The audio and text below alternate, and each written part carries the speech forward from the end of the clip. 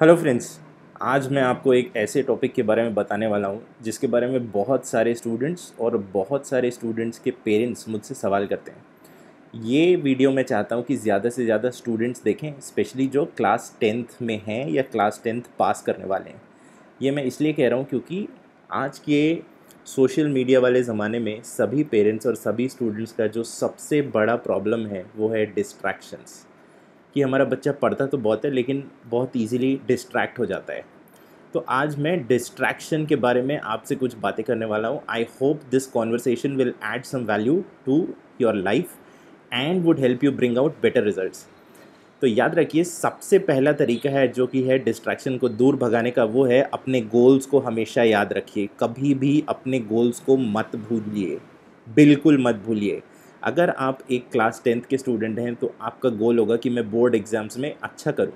अगर आप इलेवेंथ या ट्वेल्थ के स्टूडेंट्स हैं तो आपका इंटेंशन होगा कि मैं अच्छे से अच्छे कॉलेज में एडमिशन लूँ। अगर आप एक इंजीनियरिंग कॉलेज या मेडिकल कॉलेज के स्टूडेंट हैं तो आपका इंटेंशन होगा कि मेरे पीजी के एग्ज़ाम्स में मैं बहुत अच्छा करूँ, अपनी डिग्री में अच्छे से अच्छे मार्क्स लाऊं।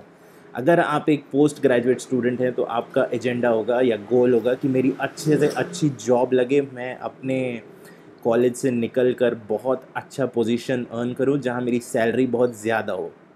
तो याद रखिए the first way to run away from distraction is remember your goals जब आपका मोबाइल बजे, जब आपके दोस्त आपको बुलाएँ टाइम वेस्ट करने के लिए, जब कोई पिक्चर देखने का आपका मन करे, या टीवी पर आईपीएल आ रहा हो always remind yourself of your goals दूसरी चीज़, काफ़ी सारे बच्चों को मैंने देखा है जो दसवीं तक तो बहुत अच्छा करते हैं क्लास टेंथ तक बहुत अच्छा परफॉर्म करते हैं और अचानक इलेवेंथ ट्वेल्थ में आते ही उन्हें कुछ हो जाता है।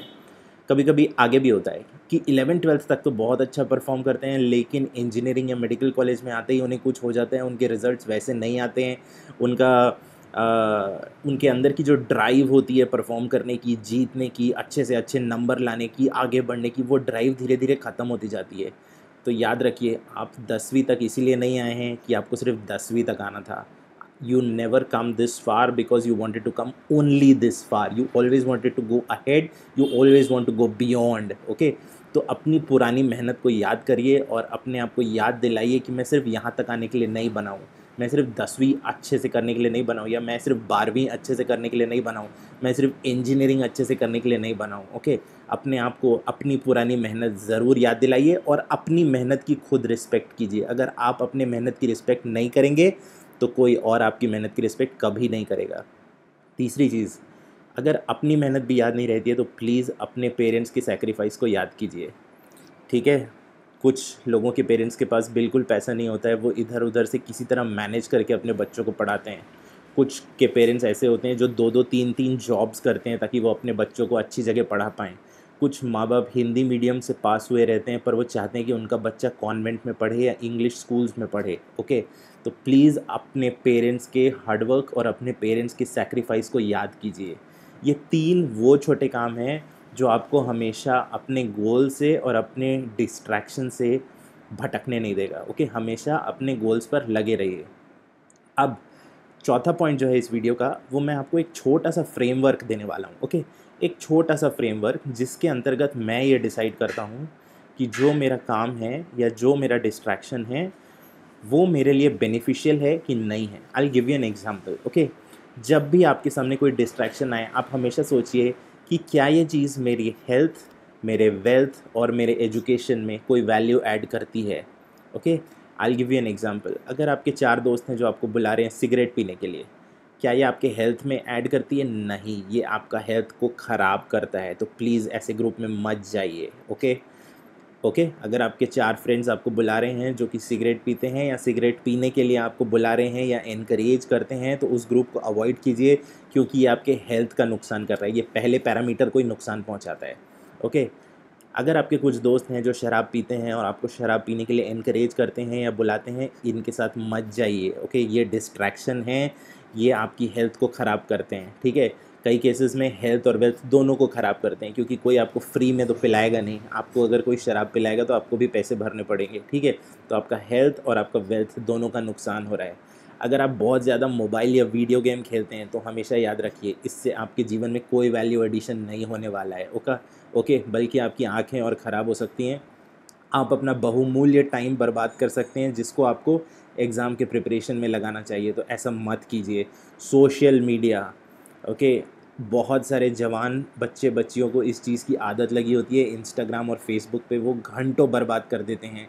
याद रखिए, कोई भी स्टोरी बनाना, कोई भी पोस्ट करना, कोई भी फॉरवर्ड करना आपके हेल्थ वेल्थ या एजुकेशन में कोई वैल्यू ऐड नहीं करेगा। इसलिए जहाँ तक हो सके सोशल मीडिया को अवॉइड कीजिए।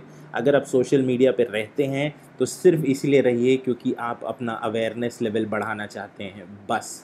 अगर आपको ये पता चल रहा है कि दुनिया में क्या हो रहा है, आपकी सोसाइटी में क्या हो रहा है, आपके स्कूल्स में क्या हो रहा है, आपके अलग अलग एक्स्ट्रा करिकुलर एक्टिविटीज़ में क्या हो रहा है, आपके क्लब्स में क्या हो रहा है, इस प्रकार की अपनी अवेयरनेस बढ़ाने के लिए अगर आप सोशल मीडिया पे हैं तो तो ठीक है। अदरवाइज़ आप अपना बहुमूल्य टाइम वेस्ट कर रहे हैं। डू नॉट डू दैट बहुत सारे लोगों को टेंथ इलेवेंथ ट्वेल्थ में आते ही प्यार हो जाता है। याद रखिए, ये एक सिंगल ऐसी चीज़ है जो आपके पूरे जीवन को बर्बाद कर देती है। ओके ये आपकी हेल्थ आपका वेल्थ आपका एजुकेशन सब कुछ ख़राब कर देगा। ये दुनिया का सबसे घटिया डिस्ट्रैक्शन है ओके अगर सभी डिस्ट्रैक्शंस को रेट करने बोलें तो मेरे ओपिनियन में बॉयफ्रेंड और गर्लफ्रेंड नंबर वन डिस्ट्रैक्शन होता है और सोशल मीडिया नंबर टू होता है। सिगरेट शराब मोबाइल या वीडियो गेम लोग थोड़े दिन में शायद छोड़ देंगे या शायद रिकवर कर पाएँगे जब उनको अकल आएगी। लेकिन ये जो दो हैं सोशल मीडिया और गर्लफ्रेंड बॉयफ्रेंड इसका नशा जो है लोगों के दिमाग से आसानी से या जल्दी से नहीं उतरता है। तो प्लीज़ अपने आप को इन सभी चीज़ों से दूर रखें। अब आते हैं कुछ अच्छी चीज़ों की तरफ़, ठीक है? जैसे अगर आपको कोई क्रिकेट या बैडमिंटन खेलने के लिए बुलाता है, इससे आपकी हेल्थ इंप्रूव होती है। प्लीज़ यहाँ ज़रूर जाइए। अब क्रिकेट या बैडमिंटन खेलने जाने के लिए मैं ये नहीं कह रहा हूँ कि आप दिन रात खेलते रहिए। थोड़ी देर खेलिए जितना आपकी बॉडी को फिट रहने के लिए, आपके माइंड को फ्रेश रहने के लिए ज़रूरत है, ज़रूर खेलिए। सेम चीज़ है म्यूज़िकल इंस्ट्रूमेंट से। आपका माइंड रिलैक्स होता है ओके आपकी हेल्थ जो है इम्प्रूव होती है। प्लीज़ ज़रूर जाइए। डिबेट या टोस्ट मास्टर्स का जो आपका क्लब होता है, उसमें ज़रूर चाहिए अगेन ये आपका अवेयरनेस को बढ़ाता है ओके योगा कीजिए मेडिटेशन कीजिए वेट लिफ्टिंग कीजिए मैराथन दौड़िए, ये सारे काम कीजिए ओके ये सारे काम आपके हेल्थ आपकी वेल्थ और आपके एजुकेशन इन तीनों एरियाज़ में वैल्यू ऐड करती हैं। प्लीज़ ये जो टॉप ए टू ई जो मैंने लिखे हैं, इन चीज़ों से दूर रहिए।